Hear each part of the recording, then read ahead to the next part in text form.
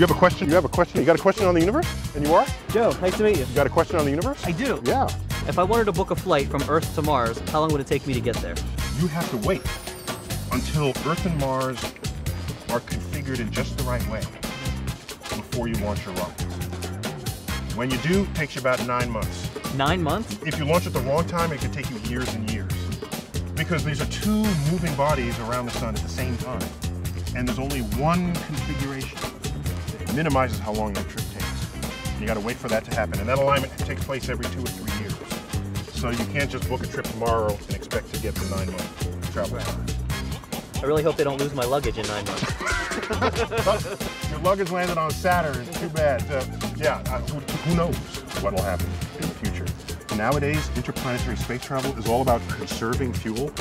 But imagine a day where you could refill in, in, in, in space stations positioned throughout the solar system. If that were the case, you could fire your engines and keep them fired all the way to Mars.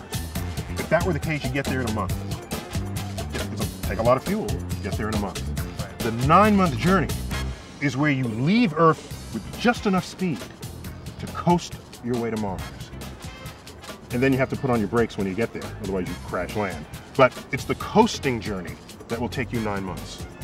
But if you have enough fuel to just fly, just crank it, you can cut almost as much time off of that trip as you have fuel to accommodate.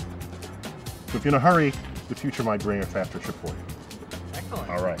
Thank you. Thanks for coming. All right.